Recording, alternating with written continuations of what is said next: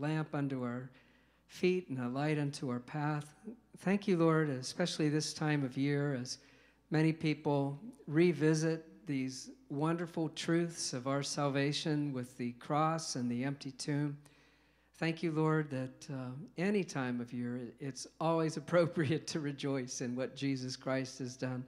But this time of year, Lord, we pray that your Holy Spirit, as we approach this uh, celebration of your resurrection, would give us a deeper understanding, a richer way of looking at these things, and a deeper work in our hearts and lives.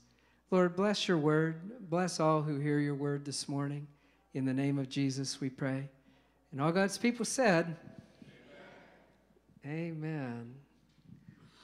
As I've been praying about just this whole time of the year, I've actually been praying about it since before Christmas. And uh, I'll start praying about next Christmas, probably before the end of August, and just where to go and how God wants to direct. Um, there's a theme that, that has just really stood out to me from the Bible.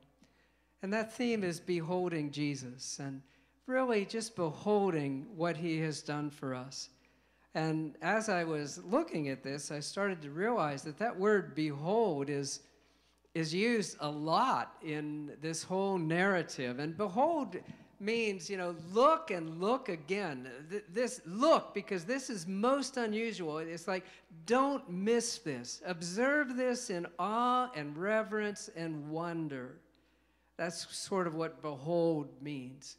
And as we think about, you know, behold is something that's just so out of the usual, something that's so out of the ordinary, something that is extraordinary that we don't want to miss. And so there's this word, behold, that is used in uh, throughout this whole thing. Today we're going to be looking at a, a, verse in Hebrews that says, Behold, in the volume of the book it is written of me, I come to do your will. And we're going to be looking at the things leading up to uh, Palm Sunday and leading up to Good Friday, leading up to Easter Sunday. On Good uh, next Sunday, we're going to be looking at Behold, your King is coming to you. And that, of course, is part of the Palm Sunday narrative. On Good Friday, we're going to be looking at Behold the Man. Look and look again in awe and reverence and wonder because something unusual is happening here. And then Easter Sunday, Behold, I am alive forevermore. Look and awe and wonder, He's alive forevermore. So, this whole theme of beholding Jesus and drawing close to Him, we're going to be beginning in, in this little series of four messages here this morning. And behold, in the volume of the book, it is written of me, uh, I come to do your will, O God. And basically, what that is saying, we're going to be uh, looking at this in Hebrews chapter 10, verses 7 through 9. Then I said, Behold, I have come, and I'm reading exactly the, what I was quoting, referencing before. In the scroll of the book, it is written of me, To do your will, O God. And what it's really referencing is that leading up to this time of this series of events that we remember this time of year this crucifixion of Jesus and his resurrection from the dead. In the volume of the book, in, the entirety of the Bible leading up to this, of course, there were many reasons that the Bible was given, but one primary reason was to prepare the world for the coming of the Savior, the coming of Jesus Christ. And in the whole of the Bible leading up to this series of events that we remember from Palm Sunday through Easter Sunday, it was written that Christ would come to do God's will. And so we're going to be thinking about that. There were something like 330 prophecies over, given over thousands of years about what would happen when Jesus came, when the Christ would come. And mathematically, if there had only been 50 prophecies instead of over 300 prophecies, of course there were over 300, but if there had only been 50 prophecies that were fulfilled in the life of Christ, spoken before he was born, with none of them not being fulfilled, and then you add in there the mix of the time that he would be born and the place that he would be born Mathematics cannot express the probability that that could be done by accident. It's not even possible with 50 prophecies to express the impossibility that that could take place by accident. But of course, there were a lot more than 50 prophecies. There were over 300 prophecies written in the Old Testament about what Christ would do when he came. How many of you know you can tell what's important to somebody by what they talk about? And what's important to God is what he talks about. And he did not stop talking about when his son would come to take away our sin and make us right with him. God, he, he just kept talking about it and talking about it and talking about it because it's important to him and it's also vitally important to us.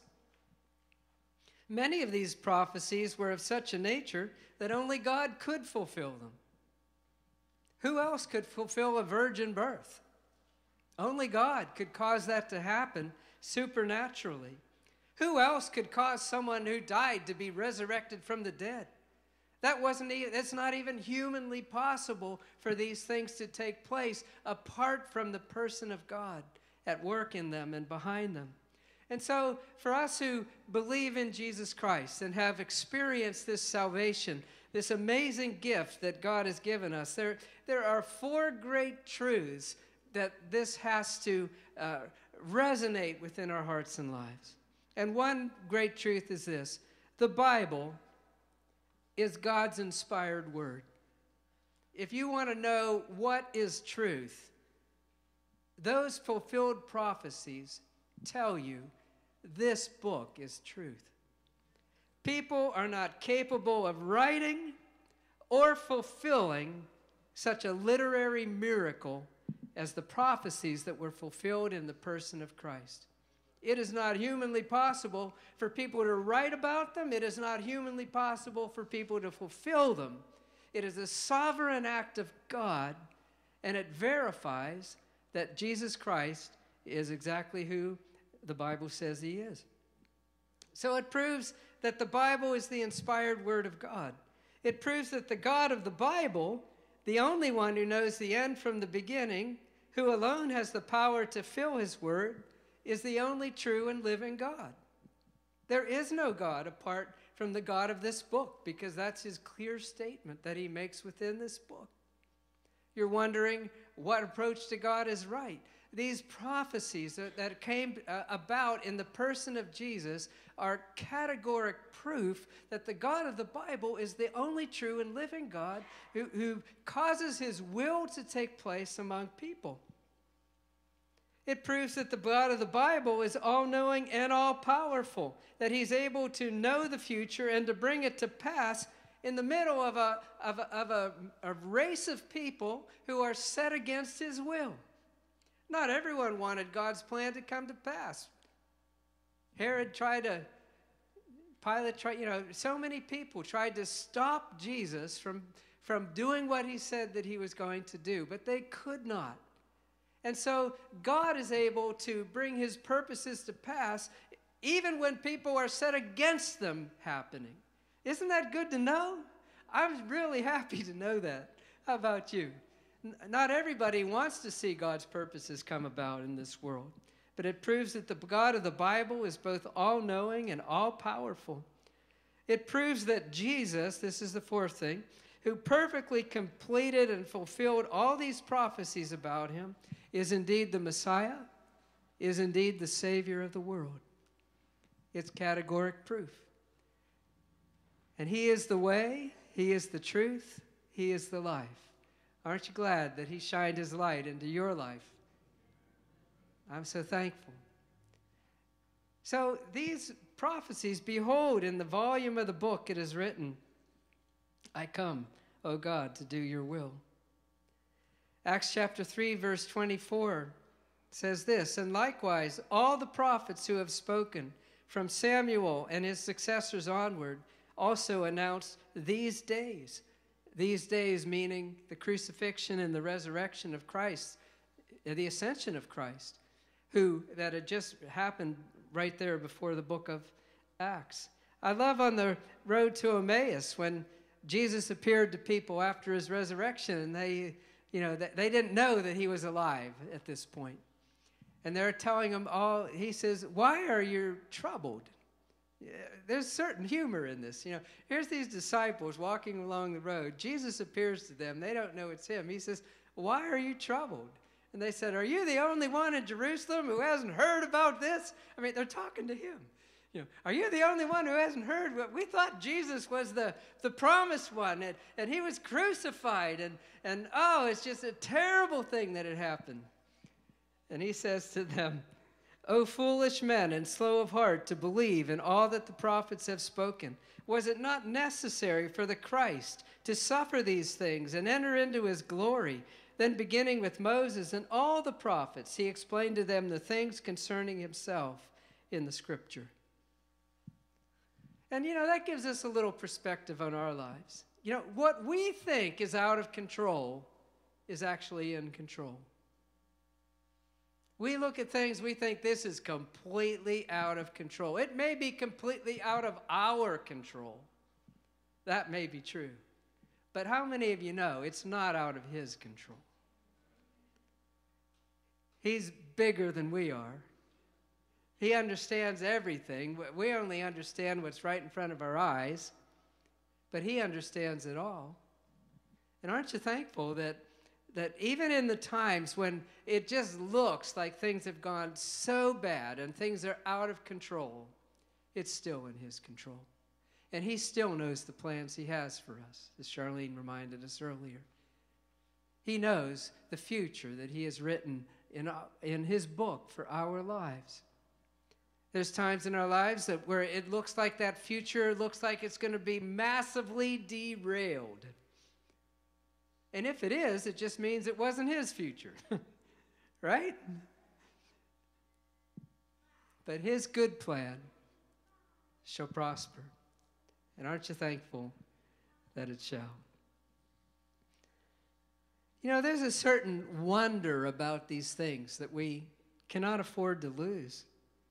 We can't afford to take for granted the crucifixion and the resurrection of Jesus it, needs to, we need to behold this, to, to look at it again in awe and wonder. And to realize, you know, even though we live our lives relying on his crucifixion and his resurrection on a daily basis, a daily basis, we rely upon that. We can't lose the, the, the, wonder of it all, the amazement of it all. And we have to come back and behold Jesus. It says in uh, 1 Peter chapter 1 verses 10 through 12, as to this salvation the prophets who prophesied of the grace that would come to you made careful searches and inquiries, seeking to know what person or time the spirit of Christ within them was indicating as he predicted the sufferings of Christ and the glories to follow. You know, even the people who prophesied these things, they, they weren't sure what it was. They made careful searches to try to find out what it was that they were talking about. And it was revealed to them, the Bible says, in verse 12 that they were not serving themselves, but you, in these things which have now been announced to you through those who preach the gospel to you by the Holy Spirit sent from heaven, things into which angels long to look. So angels have a sense of awe and wonder about this. The God who never was created took on humanity and lived among us. They have a wonder about that, they have an awe about that. Do we have an awe about? The prophets who prophesied about these things, it wasn't just one and done. Uh, they prophesied and then they, they did searching and inquiries to seek what it meant. And you know, we need to, to continue to seek God in our own lives for what these things mean to us. God doesn't want to bless your plan for your life. He wants you to be in line with His plan for your life because He has one. Isn't that good news? He has a plan. So this word behold, just to in awe and wonder. Behold, in the volume of the book it is written. And behold, my remote isn't working. well, it's all right. So, do you know, even in his incarnation, as it was prophesied, Isaiah chapter 7 14 says this Behold, a virgin will be with child. Therefore, the Lord himself will give you a sign. Behold, a virgin will be with child and bear a son, and she will call his name Emmanuel. 700 years before Christ was born, this was written, at least. The Lord Himself will give you a sign. What a sign! Only God could give that sign. And it says, Behold, look and look again. Look and awe and wonder that God is going to bring His Son into the world by causing a virgin to conceive and to bear a son. And she will call his name Emmanuel. Emmanuel means God with us. This one who was be born would be unlike any other birth in, in the entirety of human history. He would not have a human father. He would have a stepfather who raised him, but he would not have a human father. Look and look again in awe and wonder. And you know, many years later, hundreds of years later, how many of you know when God doesn't do what we think He's telling us in 15 minutes, we wonder if eh, God, was that you, you know? We're talking 700 years here, you know?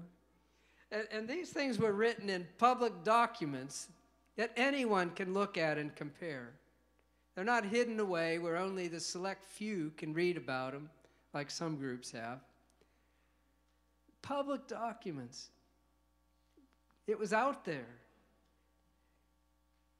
And a young man named Joseph was engaged, betrothed to a young woman named Mary. And she had this crazy story as to why she was expectant. That an angel had appeared to her and said that her son that she would conceive in her womb without a human father would be the Son of God.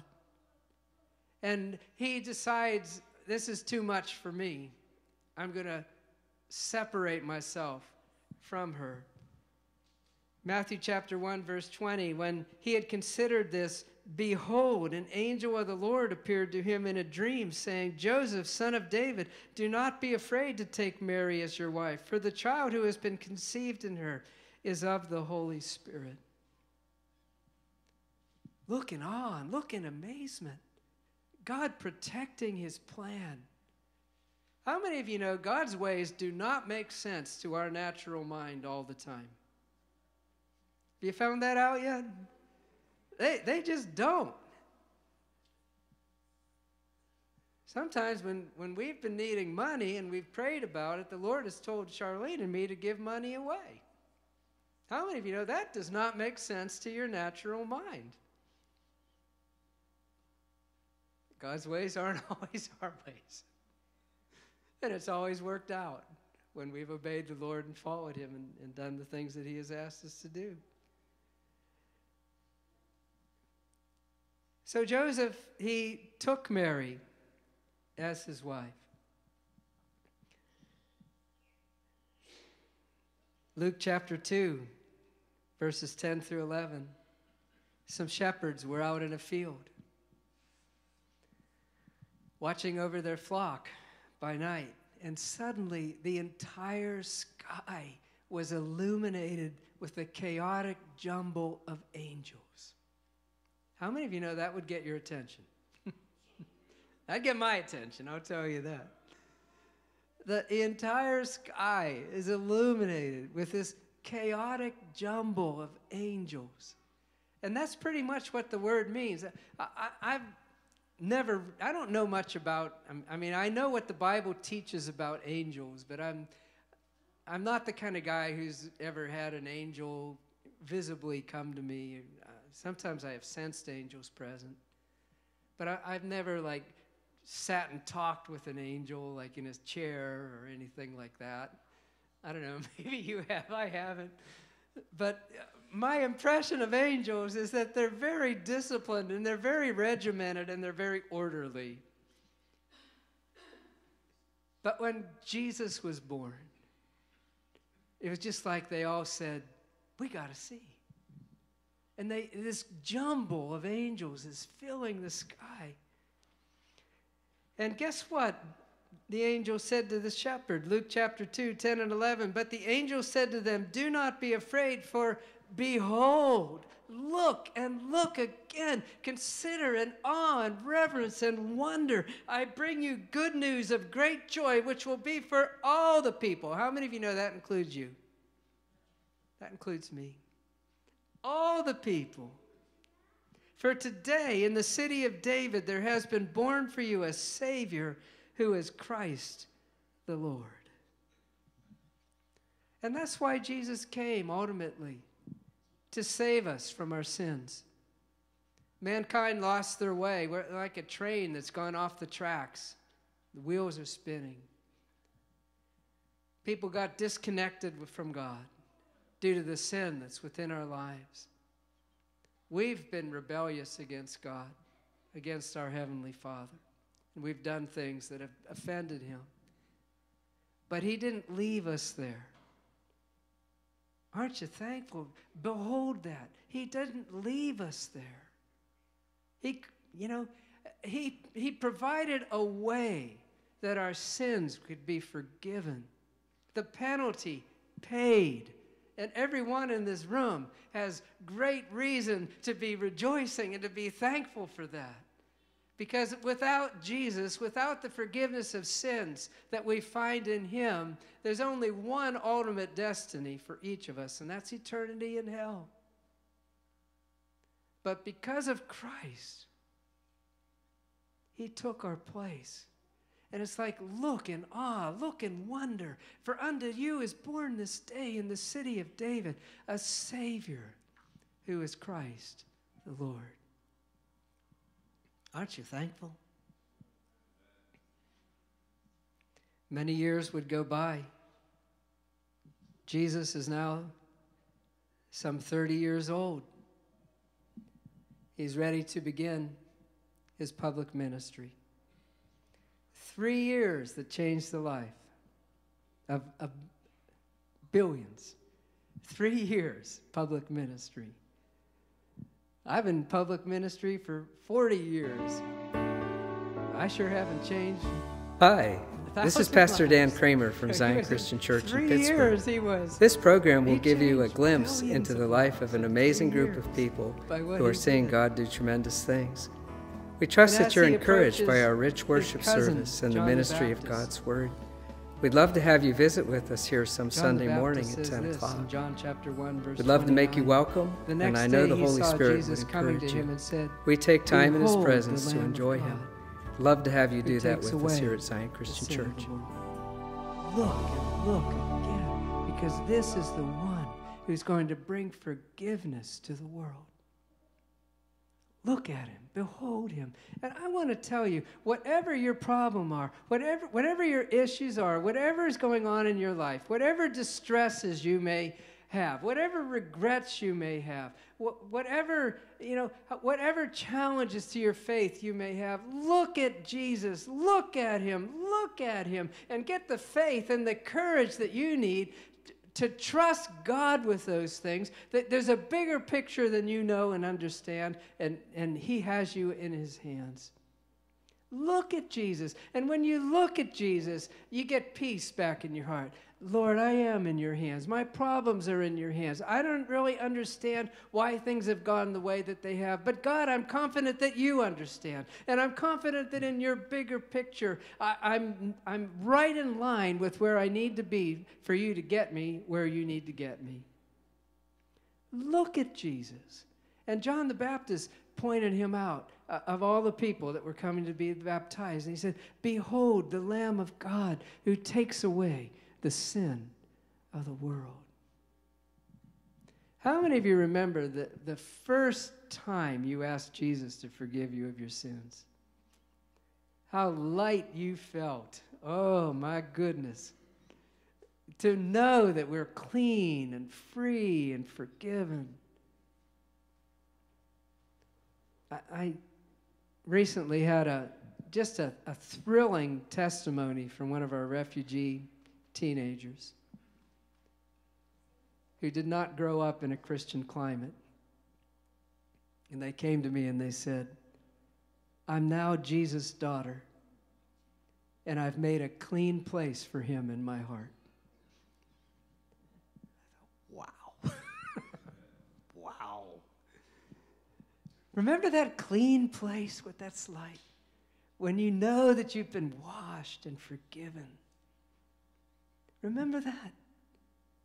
Remember how fresh it is to have that encounter with Jesus.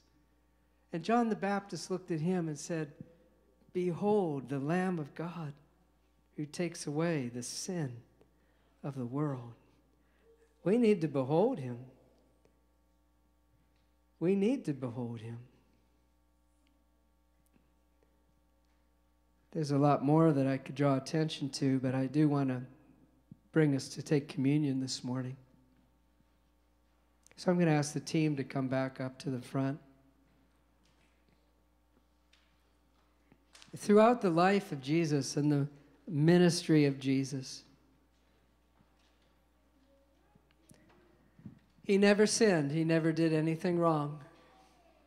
He loved, he healed, he delivered, he restored, he rebuilt. But I have one more behold to look at here. And it comes towards the end of his three years, three and a half years of ministry, where he took the 12 aside. Luke chapter 18, verses 31 through 34. He took the 12 aside and said to them, Behold, we are going up to Jerusalem, and all things which are written through the prophets about the Son of Man will be accomplished. For he will be handed over to the Gentiles, and will be mocked and mistreated and spit upon. And after they have scourged him, they will kill him. And the third day he will rise again. But the disciples understood none of these things, and the meaning of this statement was hidden from them. They did not comprehend the things that were said. Behold, we're going up to Jerusalem the primary reason that he came, he was about to accomplish to die for our sins. He knew exactly everything that lay before him, he knew exactly what would happen, and he embraced it to forgive us. You know, what love? I mean, it is amazing grace. You know, we sang that amazing grace this morning. How sweet the sound. It is absolutely amazing. None of us want to die for our enemies. But at the time that Christ died, we were his enemy because of our sins. I'm pretty sure if I was to study in West Point, which I never have, but I'm pretty sure if I would, they wouldn't teach as a great battle strategy die for your enemy. you think that's pretty safe to say? no, they wouldn't. Uh, uh, in the natural realm, and certainly in the human realm, that makes no sense as far as war is concerned. But in the spiritual realm, that's exactly what he did. He died for us. He took our place. My friend uh, who I used to do evangelism with in England, his name was Philip Bragg. He used to tell a story where he'd say, Salvation is kind of like this.